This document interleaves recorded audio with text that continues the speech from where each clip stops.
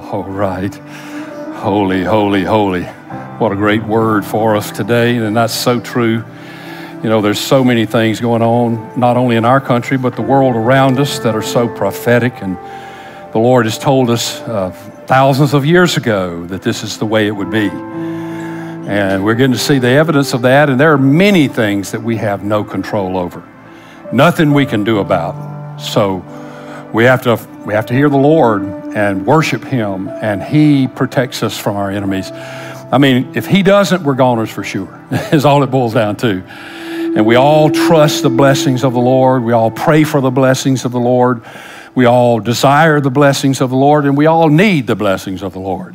Well, how do you get those blessings? I mean, how do you how do you how do you put yourself in a position to receive those blessings? Because as we all know, the Lord is in charge of everything in that nature. Our giftings, the Holy Spirit's work, our blessings, and all of those things are in God's purview of life. But in the scripture, uh, he shares with us some truths about uh, certain areas of our life that if we will line up with these truths, that we will make ourselves at least available to the blessings of God. It doesn't mean that we strong arm him or that we can force God to do anything. Obviously, can't do that. But if we align with his truth, at least we get in the room with him. If we don't align with His truth, though we might pray for lots of stuff and desire lots of stuff and need, and I'm talking about not just financial things, I'm talking about all, anything in life strength, wisdom, grace, knowledge, you know, endurance, patience, love, whatever we need, this is God, this is God's purview. And he says, if you will obey these truths, I you you put yourself in a position to be able to receive these things. If you don't obey this truth, you're not even in the room. So you're not getting, you're not getting it because you, you can beg and cry all you want. No, you're not even in the room. So we want to be in the room. And I shared with you last week of the 26 parables that Jesus shared while he walked on this earth that and a lot of them are amazing. We're, all of them are amazing in their own right, and you know that. They're just they're stories laid aside truth so we can see the truth. And uh, you know they're just tremendous uh, uh, messages in every single one of them. But the one one parable that I to me contains so much truth in such a very short time parable that it, I just wanted to share this with you because I want you to know this. And I, uh, you need to know this. This is what, this is what you, you, you seek, it at, you seek after. This is, this is, where, uh, this is where the rubber meets the road uh, in, in, in the blessings of God that we so greatly need and pray for. And, and, and don't, and I'm, I'm going to say it quite often, uh, I think, during this message don't simply think about money because so many times when you hear things about God's blessings, your mind goes cha-ching, you know. I mean, you just start thinking automatically about, okay, how am I going to get some money? And you've been manipulated so many times, and I have been too. I've heard so many messages about this truth that I'm going to be preaching about today. One of the greatest truths in the Bible, and it is absolutely the Word of God. It's taught many places in the Bible it's very clear and easy to understand, but it has been used more than any other truth, in my opinion, to manipulate people and con people and deceive people than any of the other truths of the Bible. And maybe it's just, maybe the reason I feel that way is because I've been pastoring for 45 years and I've been in lots of meetings. You know, I probably, I don't know how many times more meetings than you have been in, but I, I guarantee you I have been in multiple times more meetings and revivals and stuff like that than probably any, any of you guys have been in. So I've seen it way, way more often, and it just burns me up when people do it. But let me get to it. Let me, let me get started. All right. Um, five, I shared, started last week, five truths from the parable of the talents. This is the parable of the talents. It's shared in Matthew 25. Um, and here it goes in verse 14. This is Jesus speaking. For the kingdom of heaven is like a man traveling to a far country who called his own servants and delivered his goods to them. So there's the truth of ownership that I shared last week. It's about a, a good man, a rich man, a master, a lord, he's called, who takes his goods and gives them to other men in order for them to manage and administrate and administer and so forth and to be good stewards over. So that is the truth of ownership, which just simply says to us, you must understand that God owns everything and that you own nothing. Now, we think we own something because we're Americans, after all, and we think we own what we've paid for. But the fact is, if you owned it, it would go with you when you are not here anymore. But the fact is, your stuff doesn't go with you. It stays here, and somebody else has it. Somebody else will be living in my house one day that I've paid all those mortgages on and own. But I don't own it because it doesn't go with me. My hearse does not have a U-Haul, and my pants won't have any anything in the pockets. Uh, so the point is, when we make decisions about the resources of our life, we need to talk to the owner before we do anything with it, and get his permission before we do anything with his property. So there's the, the ownership. And he gave one five talents and then in, in, the rest of the verse 15, to each according to his own ability, and immediately he went on his journey. The second truth there is the truth of dominion. To have dominion just means to rule or to dominate something. Every single one of us have been given an area of life to dominate by God. We have been given a dominion. Uh, and and what we pray for all the time, we just say it in another way, is we pray for God to reveal the dominion that He has given us so that we can accomplish why He put us here. We pray for the will of God. The will of God is just simply another way of saying, God, what area have you given me dominion over? Tristan may, as an example, I mean, he's in the car business. Uh, his dominion, most likely, are cars, automobiles. Uh, I told you about the Cathy Camp uh, family that runs Chick fil A. They pray for their dominion. They saw a chicken. You know, I mean, it's like, God, a chicken, what? Well, they feel that their dominion is chicken. They, they've been given that domain in life. And so that's the will of God for them. So, anyway, there it is. They gave according to their ability. He did not give them their ability. He gave them according to their ability, what they had already demonstrated they were capable of handling. He gave one five, one two, and one one because of their demonstrated capacity to handle. God does the same thing. He gives us what we can handle. So God's always watching for us to demonstrate our capacity. And He'll give us what we can handle, and He won't give us more than we can handle. All right, here we go. Verse 16. I'm talking too long about this. Then he who had received the five talents went and traded with them and made another five talents.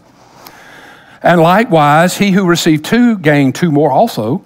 And he who had received one went and dug in the ground and hid his Lord's money. After a long time, the Lord of those servants came and settled accounts with them.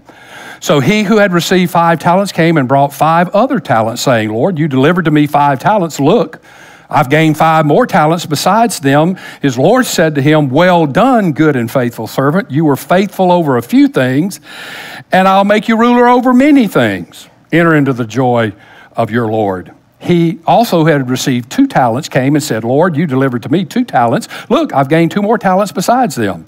His Lord said to him, Well done, good and faithful servant. You have been faithful over a few things. I will make you ruler over many things. Enter into the joy of your Lord. Then he who had received the one talent came and said, Lord, I knew you to be a hard man, reaping where you have not sown, and gathering where you have not scattered seed. And I was afraid and went and hid your talent in the ground. Look, there you have what is yours. This is the truth of use. God never gives us something to bury. He gives us things to use. And He will not give us more until we use what He has already given us. The one that used five got five more. The one that used two got two more. The one that used none not only didn't get anything, he's going to get his what he had taken away from him.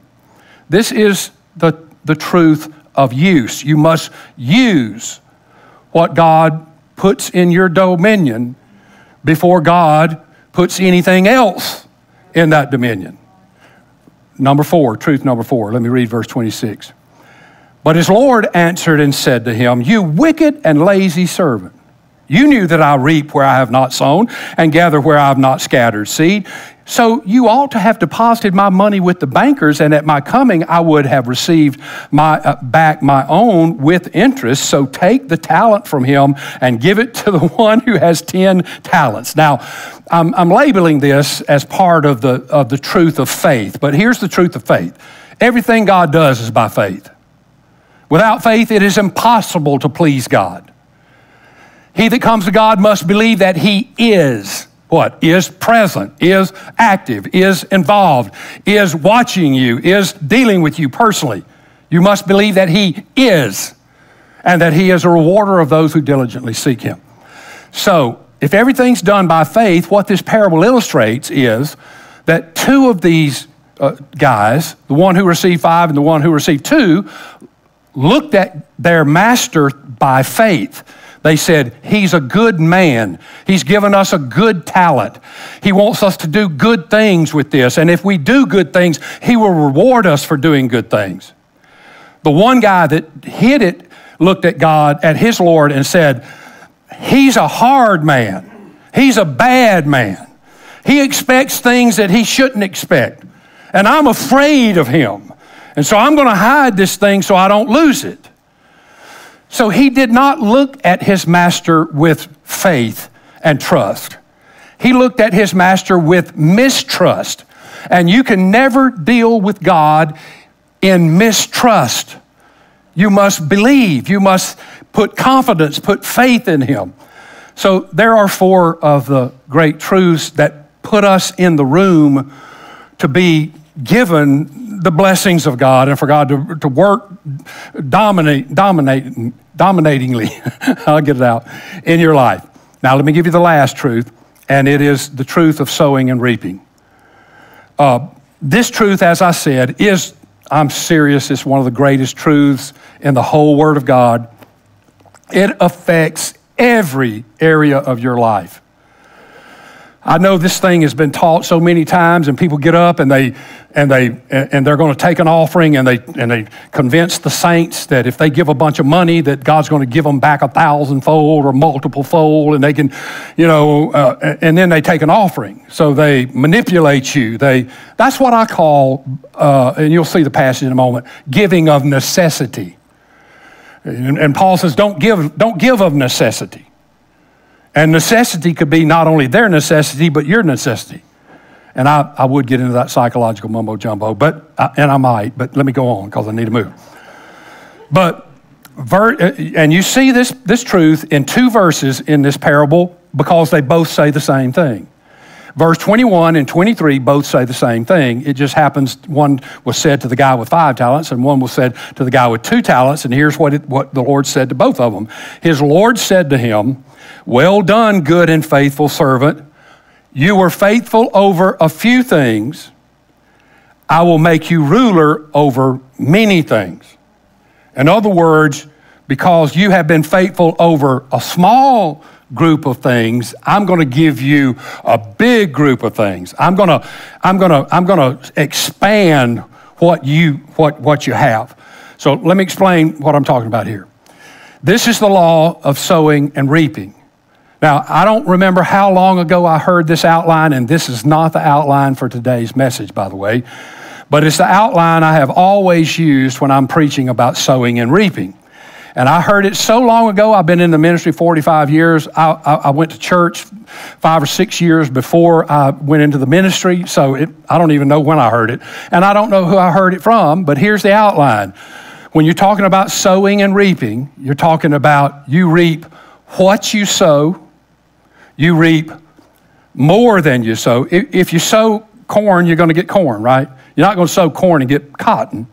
You sow corn get corn, reap what you sow. You reap more than you sow. If you, you, don't, if you sow one butter bean, you don't get one butter bean back. You get a bunch of butter beans, right? All right, and you reap later than you sow because you don't go out and plant a seed today and go out tomorrow and pick the fruit off of it. It has a gestation period, so you reap later than you sow. So there's your simple outline for sowing and reaping. Uh, if, you, if you want to preach a sermon on it one day, you reap what you sow, you reap more than you sow, and you reap later than you sow. Now, this law began in Genesis chapter 1. Like almost everything else in life, it began in the book of Genesis, and it's in the very first chapter, right after God created Adam and Eve. Uh, before he goes back in chapter 2 and gives us some details about certain things, just in the general creation, as soon as he created Adam and Eve, here's what he said to them in Genesis chapter 1, verse 28 and 29. Then God blessed them, and God said to them, Now he's going to give them two commandments in these verses that are still true for us today. These are still commandments to all of us today. The first one, God said to them, Be fruitful and multiply. Now, in the Old Testament, that command was predominantly, predominantly a command concerning having babies. In the New Testament, Jesus comes along and Jesus expands the concept of that being fruitful and multiplying from simply a physical concept of, of, of developing a human race on this earth to the concept of something much broader than just having babies. And here's where he said it in Matthew 28, verse 19 Go therefore and make disciples of all nations, baptizing them in the name of the Father and of the Son and of the Holy Spirit. And he goes on in verse 20 to complete that and talk about in low to the ends of the age. You know, this is the Great Commission. That's what we call it. This is where Jesus says, Your mission in life is this. And if you'll notice what it is, our commandment is to go spiritually and make spiritual disciples of all nations so that we are not the only people to go to heaven. So, fill the earth, subdue it, the verse says, have dominion over it over the fish of the sea, over the birds of the air, and over every living thing on the earth. So the second command now is to take dominion over your area of life. Be fruitful and multiply spiritually, be a witness, uh, bring people into the kingdom with you as much as possible, be a great influence and try to win them to faith in Christ so that we all go to heaven together. We have a big harvest and we all go to heaven together. And then take dominion over an area of life. He said, over the birds of the air, fish the sea, over everything that creeps on the earth. Subdue it, subdue it, and have dominion over it. We all have an area of dominion. Talon has one. I have one. Tanya has one. Tristan has one. Justin, Holly, you know, Rick has one. We, uh, Brian, we, we all have areas of dominion, and he says, I command you to take dominion over your area of life. And so we then say, All right, Lord, how would we do that? If you've given us an area of dominion, how are we going to take dominion over it? Tristan sees automobiles in his vision of his dominion. Well, how's he going to get automobiles? How's he going to deal with automobiles? What's he going to do with automobiles? How's he going to get enough money to deal with automobiles? Now, God tells us how we're going to do it in this next verse. This verse 28 was do it, be fruitful, multiply, take dominion. Here's how you do it. Notice the very next verse. And God said, See, I have given you every herb that yields seed, which is on the face of the earth, and every tree whose fruit yields seed. It shall be food for you. So here's the commandment completely fill this earth with people, and here's your seed. Completely fill the earth with vegetation that will feed all of these people on earth. What I'm trying to say to you is that, that everything starts with the seed in the garden. I have given you dominion, but you're going to have to use the seed to gain dominion over your area of life. I'm telling you that you have everything you need in your garden of life, no matter how small you think it is. And the reason why is because God has given you seed. You, look, you are sitting here today because of a seed. You were a seed one day. Now you are sitting here because of a seed. I am going to go home after church and eat part of a cow. That cow was a seed. That's why it's available to me. Pat's going to make some spinach casserole. I mean, uh, broccoli casserole. Justin's going to make some green beans, vegetable stuff. I, I know somebody's bringing some corn. Pat's bringing some corn. We don't eat without corn, but anyway. But anyway, but all of those vegetables were seeds. The bread that we eat was at one time a seed. The fruit that we eat was a seed. Every living thing that we consume in order to give us life comes from a seed.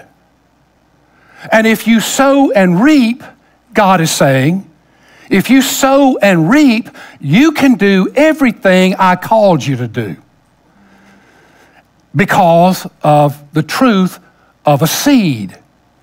Let me show you the Apostle Paul talking about it.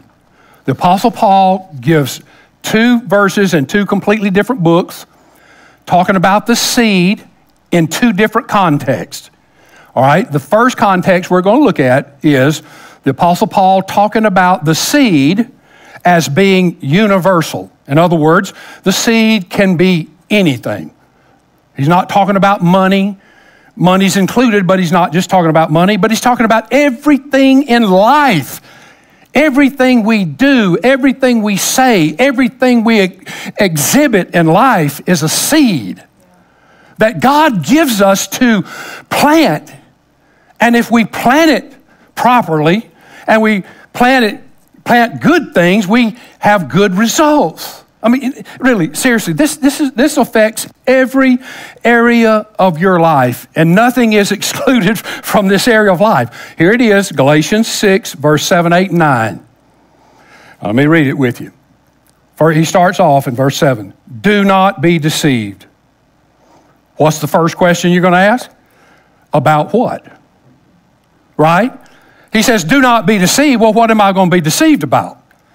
He says, I, I don't want you to be deceived about what he's about to say, which is sowing and the truth of sowing and reaping. So what he's saying is, look, I don't want you to be deceived about the truth of sowing and reaping. God is not mocked. Look at the next, for whatever a man sows. Whatever it is, everything in life. Whatever you sow, that shall he also reap. For he who sows to the flesh, who sows bad seed of the flesh, reaps rotten stuff, corruption. But he who sows to the Spirit, everybody say good seed, shall, uh, shall of the Spirit reap everlasting life shall reap good stuff. Verse 9, and let us not grow weary while doing good, for in due season we shall reap if we do not lose heart. Say, if we don't give up. That's what it means. That's what losing heart means. I'm going to reap. If I don't give up, I'm, going to reap. So do not be deceived. If you don't believe this truth of sowing and reaping, you are, are, you are living in the state of deception. You are being deceived. God is not mocked, Mocked is the Greek word mukterizo. Your mukter in the Greek language is your nose. Mukterizo means don't turn up your nose to God. You can't turn your nose up to God. God's not putting up with that mess. So Paul is saying, don't get these lies in your head and throw up your nose to God believing that this doesn't work. It does work. Everything you sow in this life, you're going to reap it back 100% of the time. If you sow good seed, you will reap right stuff, righteousness. If you sow sin seeds, hate seeds, greed seeds, misery seeds, seductive seeds, you're going to reap those same qualities back in life 100% of the time. You can sow bad seed if you want to. Go ahead and sow all of the anger, hostility, unforgiveness, and eh, sow all of that stuff. But just know this you're going to reap that same stuff back again. Don't be deceived about that, he says. You know why? Because sin has a harvest. If it wasn't for the, well, sin, let, us just begin it this way. Sin is fun, right? Can we admit that? Sin is fun. You know why I say that? Because if it wasn't fun, we wouldn't do it. Because God has to command us not to do it. If it wasn't fun, He wouldn't have to command us not to do it. We wish we wouldn't be doing it. But it is fun. It's exciting, it's alluring, it's tantalizing. Our flesh loves to sin. The only problem with it is the harvest. The harvest is the stinking pits. What is the harvest of sin? Well, Paul says in Romans 6 for the wages of sin is death. Whoa, that's a bad harvest. That's a heavy consequence harvest. So, sin would be great if it just wasn't for the, the consequences of it, the harvest. And, and Paul is saying, if you don't believe that, you are deceived. Don't be deceived, he said. Let me tell you the truth about this. Now, in verse 9, he says the funny couple of little things. Uh, so don't grow weary in doing good, for in due season you will reap if you don't give up. Why does Paul say that? Well, because every seed has a gestation period. And the gestation period is, is different on all the seeds. Like if you plant, go home, plant a grass seed, and I'm talking about the lawn now, not the plant. You go home. Isn't it terrible that we have to quantify that nowadays? We're talking about the yard now. If you go home plant a grass seed, man, a lot of different grass seeds will come up in three or four days. It takes nine months for the human seed to develop. The longest developing seed of a mammal is an elephant. Takes 18 to 22 months for that, that big joker to develop. So all seed have different gestation periods. The only thing they all have in common is they all bear fruit. Every seed bears fruit. Every seed has a return on it. It may be 20 years, it may be 15 years, it may be three days, it might be three hours, it might be three minutes, or it might be immediate. Some seeds have an immediate return. If you don't believe it, just go home after church today, walk up to your spouse, and say, um, Are you gaining weight? that will bring some immediate harvest to you. Or is that a wrinkle I'm seeing in the corner of your eye? there are some seeds that bring immediate. So he says, All right, uh, in due season, you need to know that you, there's a gestation period, so you're going to have to wait till the due season. And then he says at the start of it, don't grow weary in well doing.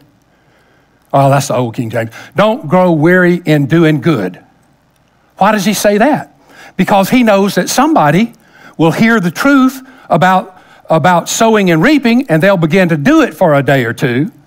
And because they don't see any results in a day or two, they'll conclude this thing doesn't work and they'll quit. So Paul says, look, don't get tired of doing good things. Because if you will keep doing them in a certain period of time, they're going to bring forth something real good for you if you just won't quit doing them. You keep doing them until they bear fruit. And you can't allow yourself to get discouraged. Believe me, I, have been a pastor for 45 years. I can tell you a little bit about discouragement. I've pastored eight churches over those 45 years. And I can tell you that I have faced church members that were obviously upset with their leadership. I mean, man, they were aggravating, annoying, hard to live with. I mean, it was obvious they didn't like me or the horse I rode in on. And they wanted me to know it. And they did everything they could to get me run off from where I was. Multiple places now. I'm not talking about one, one little place. So there were many times that I faced tremendous discouragement because of these people until the Lord helped me realize you know, I didn't sow that seed of anger. I didn't sow that seed of mistrust in them. I didn't sow that discouragement in them, that frustration in them. So the Lord helped me realize that I wasn't eating my crop, I was eating someone else's crop. I was eating the crop that someone else sowed. It was someone that came before me that sowed discouragement into them, frustration into them, anger into them, hostility into them. And so it wasn't my seed I was eating. I was obviously eating someone else's seed. So, what did God help me realize that I believe will help you too? I believe that if you find yourself in this position, where you're, you're harvesting a crop of anger, hostility, uh, bitterness, strife, division, whatever it might be, from your, from your family or your church or your business or, or your friends or any, anything else in life, here's what, here's what we need to do. You need to keep planting good seed. And one of these days, you're going to wake up to a good harvest. Now, listen, you keep loving the people who are not loving you. You keep speaking kindly to people who are not speaking kindly to you or about you. You keep being a good, faithful, loyal, positive part of the team. You keep planting good seed, and before you know it, that bad harvest will be gone, and you will be eating the good fruit of a good harvest. Yeah, are we hearing this? Some of you may feel discouraged because you inherited poverty, or you inherited chaos, or you inherited conflict, or some other terrible thing that you don't like. What's happening is you're eating the seed of generations that have come before you. They put you in this position by planting seeds that when this crop came up, they were gone, but you were still there. And you are eating the crop that generations before you have set into motion that are causing you to have a bad harvest. Or people around you that cast bad seeds and you're eating a rotten harvest because the people that are involved in your life are planting bad seeds and you're getting damaged by the seeds they plant. Look, don't hang around people that plant bad seed. Get people in your life that plant good seed, positive seed, forward seed, unless you want to keep eating rotten, rotten harvest. So what do you do? You hold your head up high, you plant good seed, and what will happen is that, that that bad harvest will drop off. That thing that others did uh, before you that caused you to walk into a bad harvest, regardless of what people say, regardless of what they do, you keep planting good seed, and this rotten crop will die out, and you'll get a harvest of righteousness. You'll get a good harvest. Don't if you don't give up. If you don't give up. Let me give you a paraphrase. Last week I put a paraphrase up on the screen. from the Message Bible. I paraphrased the verse that had about three question marks in it. and, uh, I said, let me show you what that means. Let me give you a paraphrase. All right, let me give you a paraphrase of Galatians 6, uh, 7 through 9. Don't be deceived. Whatever you sow, that is what you're going to reap. Don't get disappointed and give up because in due season, every seed has a gestation period. If you sow that seed, you're going to reap it back. 20 years from now, you may get that bread that you cast on the water, or you may get it back this afternoon if you don't give up. So, the context of Galatians 6 is the seed is anything that you plant in life. All right, and I'm gonna go. I, I don't want to just say this last one for forever. So let me go on. Are y'all okay with this? Okay. All right. So now let's look at the context in 2 Corinthians 9, where the Apostle Paul says that the seed is something financial or it's a possession that you have, it's some property. And the only reason I say this, it really expands into meaning anything just like the other did. But he, he start, he, the reason he says this is because he's talking to the church in Jerusalem. The saints at Jerusalem, the Apostle Paul has gone to, to, to Corinth to take up an offering for the saints at Jerusalem. They're having a bad time. So the Apostle Paul is talking to the saints at Corinth about giving a good, a good, a good offering because the, the, the, Christians in Jerusalem really need a lot of help. So he says, Now I want you to give extravagantly. I want you to give, I want you to give abundantly. So that's where this comes from while he's talking to him about that. Here are the words he says to him 2 Corinthians 9, verse 6 through 8. But this I say, he who sows sparingly will also reap sparingly, and he who sows bountifully will reap bountifully. So let each one give as he purposes in his heart, not grudgingly or of necessity, for God loves a cheerful giver. So the implication is that your money is not a dead instrument.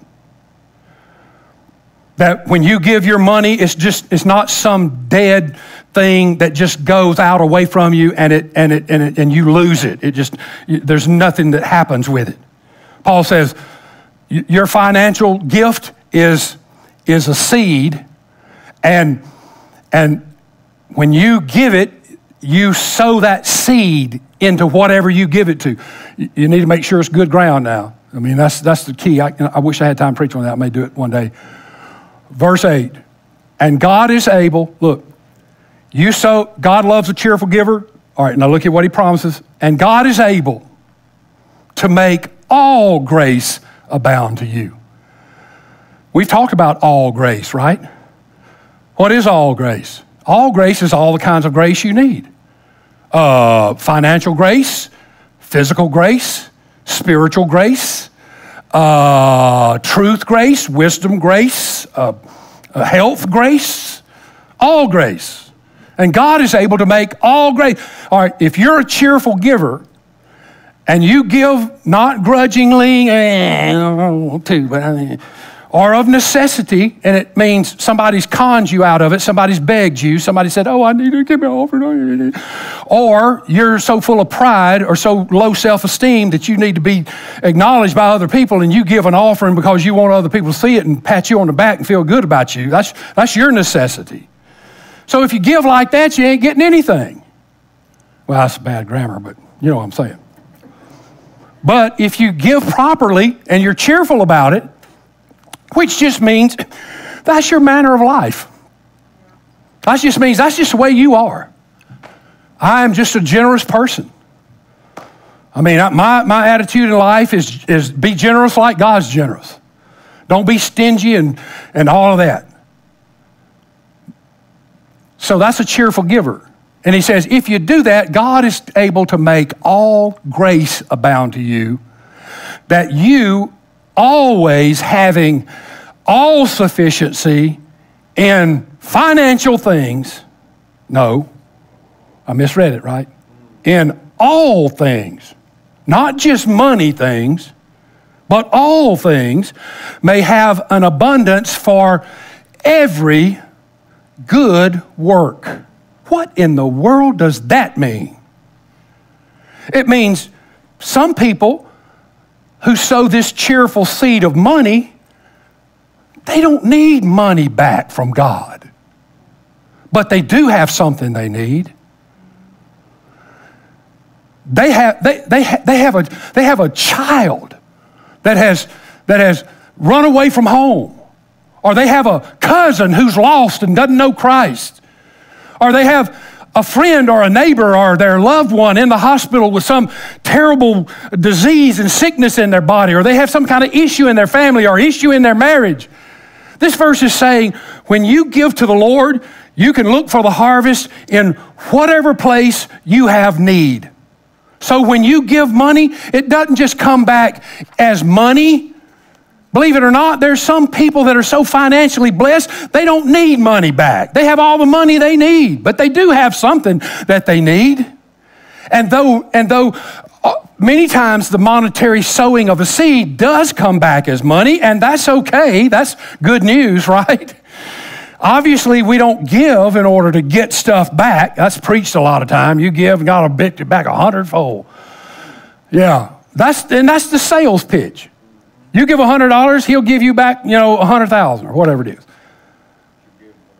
Yeah, you're giving because you want to get back. We don't give because we want to get back. If you do, you ain't getting it, I'm telling you. You give because of a thankful heart because of a heart that recognizes that if it wasn't for Him, you wouldn't have anything. And because you want to be obedient to what He said. But here's the truth every time we give, it comes back to us. Why? Because God wants to bless us and give us more to be a blessing with. We give. Our attitude is I'm a generous person God has given to me, and I'm looking for God's direction about where I should invest this. And I give, and then I give, and then He gives back to me, and then I have now more to give, and I give more, and then He gives back to me, and then I have more to give, and it just happens over and over and over, ultimately to the point that we get more blessed and the kingdom of God grows, and that's why God wants us to know the truth about this. That's why he doesn't want us to be deceived about this, because that is the truth that he has put in his word to let us know how to have dominion over the areas of life that he has given us to have dominion. And that is the one thing that we would be prospered by and the devil would hate the worst is if we actually found God's purpose for our life. And it comes through sowing the seed of everything your personality, your nature, your kindness, your generosity, your loyalty, everything is a seed. And you're going to reap back what you sow. Let me give you life lessons from farmers, all right, quickly. I'm smart farmers. Brian's laughing. He's been here a long time. Life lessons from smart farmers. Here we go. Farmers are the most practical people on the earth. They have to be because they deal constantly with what insurance companies call acts of God. What is an act of God? Lightning striking somebody, a tornado hitting, a hurricane hitting, a flood, uh, whatever disaster it is, is, that's an act of God. It's funny, they never identify anything good as an act of God, only things that are terrible as an act of God. Well, farmers deal with acts of God and they deal with the laws of nature, which the laws of nature are very fixed and very firm, and no matter what the religion of global warming has to say about anything, um, they're, they're immutable. They don't, you ain't changing them. And they have to deal with them all the time. Hey, no farmer needs to be a gambler. He gambles every time, every season. He puts his seed in the ground, hoping there'll be enough rain and enough heat, and all and the bugs will stay off of it, and he can get his crop in, and he can sell it. And blah. I mean, oh my goodness, I can't even imagine that. But anyway, uh, here's what smart farmers understand: three things. Number one, don't eat all your seed. I know that should go without saying, but if a farmer eats all of his seed, he ain't gonna have a crop next year. He ain't got nothing to plant, right? Your future is not in your stomach. Your future is not in your bank account. I have to plant seeds in order to have a crop. It's amazing how many people eat all their seed. They don't have any seed. They spend every dime they make. They spend more dimes than they make. They are, they are, they are mortgaged to the hilt on everything in life. They couldn't give if they wanted to because they don't have any seed to give. They've eaten all their seeds. That's what happens when we, when we want everything our beady little eyes see in life. And it's amazing how many people spend every dime they make. Well, farmers understand that when you eat all of your seed or you leave it in the barn, there's not going to be any reaping next year. And you're going to starve to death because you don't have anything to sow that'll bring forth a crop. So, you got to sow it in good ground. That's why we give our first 10% to the Lord because He's good ground and, and it, acknowledges Him. But anyway, let me go on. Uh, number two, second thing, plant what you want to harvest. Could it be any simpler than that?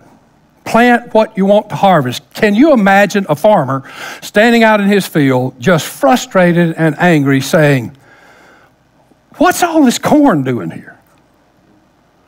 I, I have a, I have a whole section of corn, nothing but corn. It's, it's unbelievable. And his friend walks up to him and says, Well, Harvey, what did you plant? Harvey says, Well, I planted corn. But, but I didn't want corn. I wanted, I wanted cotton. What's all this corn doing here?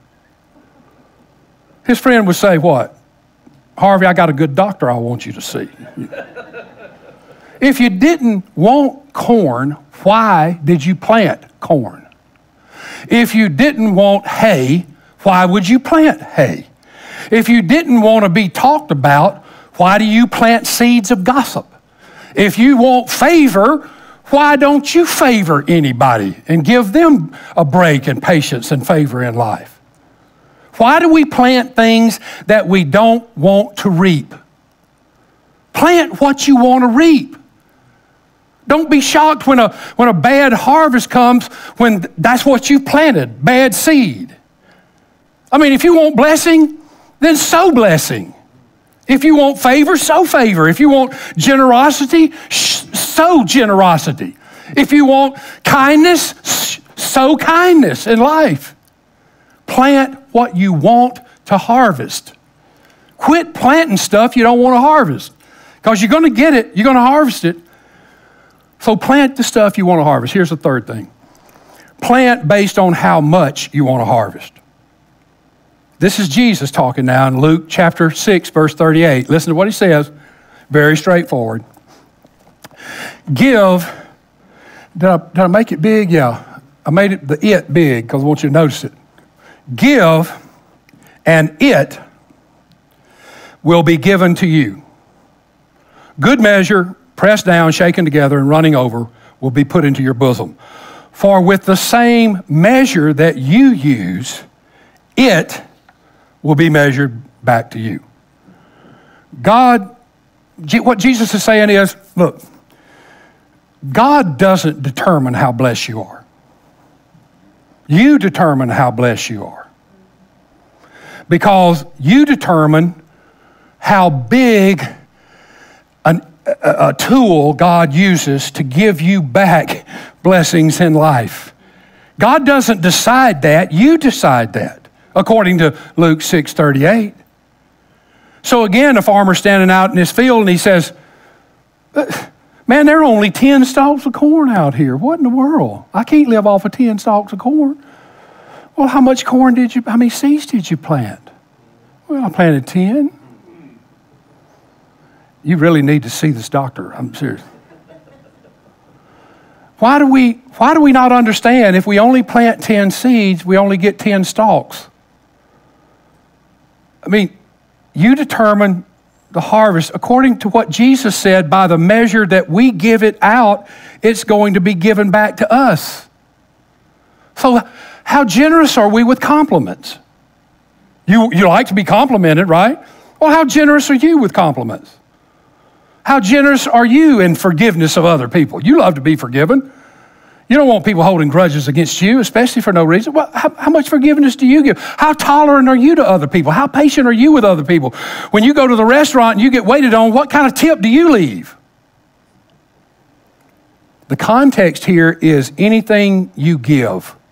Jesus says, give and it will be given. It means anything you give. So, what is the condition here?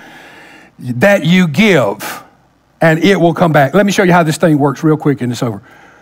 When you go to God, when you go to God, I'm reading what I wrote, so it'll be quick. When you go to God, you ask God for a blessing. God says, I love blessing. I'm in the blessing business. You prayed for a blessing, and I'm going to bless you. He then goes over and says, Angel, bring me Pastor Keith's measure because I have this big old tub of blessing up here in heaven, and I want to give Pastor Keith some of it. According to your standard of measure, that's how I measure it back to you. I don't want the angel to walk over there and pick up a thimble and say, Here you go, God. This is his, what he gives. This is his measure. Well, I got a big old pot. I can't give him but a thimbleful. I want to give him everything because, man, I'm a great giving God. Giving is my business. A thimble? Really? All right, here you go. Ding. Wait, what? Whoa, whoa, whoa, get, catch it. That's it. That's, that's a, ble- well, I, I determined by how what I measured my stuff out with is what he measures it back to me. You know what I want? I want whenever God says, "Hey, angel, bring me over Pastor Keith's ladle, would you?" And the angel walks over there, and he he looks at it, and he grabs it and goes, "Ooh, ooh, oh. whoa!" He has to get another angel to help him, another angel or two to help him. So here it is. Give him that. That's his blessing right there. That's what. That's the kind of ladle I want. Well, if I want that kind of ladle, that's the kind of ladle I got to give out with. I can't be stingy and chinchy and tight and hard and arrogant and mean and ugly and think that I'm not going to get that back. See, listen, guys, I'm telling you, this is the key to life here. In every area of your life, you want loyal employees, you be a loyal employee. You want honest people around you, you be honest. You want kind, gentle, great natured, happy, wonderful, joyful people? Then you be that. Because you reap, those are seeds that we sow in business, at school, at home with our family, wherever we are, at Goodwill or Family Dollar, where Walmart. It's hard to be that way at Walmart, but you be that way. That'll, that'll increase your ladle. that'll help you. See, I'm just telling you, uh, you don't have to be rich to, to get these blessings from the Lord because the Lord doesn't say, I'm going to, I'm going to uh, give these blessings to you according to how rich you are. He says, I'm going to give you these blessings according to how generous you are. That's determines what kind of blessing. So, see, if you're poor, you can get so much better off in life. You don't have to be rich to receive generous blessings from God. You just have to be generous yourself. This, yeah, this is exactly right. And if you'll be generous with those seeds, listen to God's direction, you have a big ladle in heaven. Phenomenal. It doesn't matter what's happening in the economy of this country, which is probably going to get worse if every indication is. It doesn't matter. You're not getting it from the United States. This is from God. So it doesn't make any difference. And God's not limited by human beings. God does His work. It doesn't matter what the, the federal treasury and the banks and blah, blah, blah, and blah, blah, blah. I mean, He can bless you when everybody around you is cursed. He can bless you. He's able to do that. And He says, Obey my truth, you're in the game. All right, let's bow our heads.